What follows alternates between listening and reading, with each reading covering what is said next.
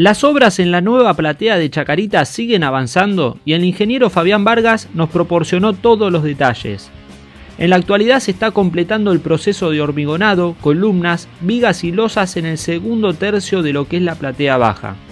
Cuando se termine esta etapa, se procederá al armado de vigas y tensores en el último tercio. Cabe recordar que el largo total de esta tribuna es de 112 metros y medio, y se dividió en tres tercios por etapas constructivas por el volumen del hormigón y las juntas.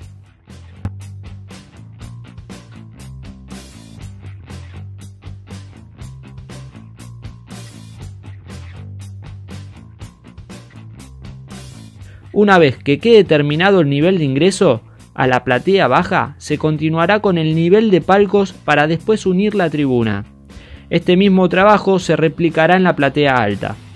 Este sector del estadio contará con 28 palcos bajos al nivel del campo de juego, mientras que en la mitad de la platea habrá dos de honor, que serán aproximadamente de 8 metros, y lo completarán otros 26 de medidas normales.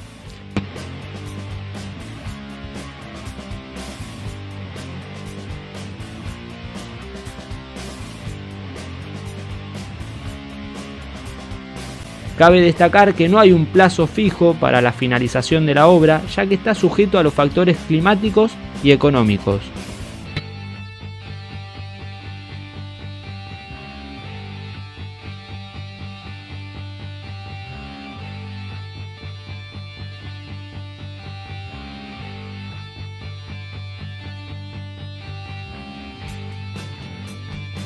Si les gustó este video les pido por favor que se suscriban al canal ya que eso nos ayuda muchísimo para seguir creciendo como también dejarnos su like y comentarnos qué otro video de otros estadios les gustaría que hagamos.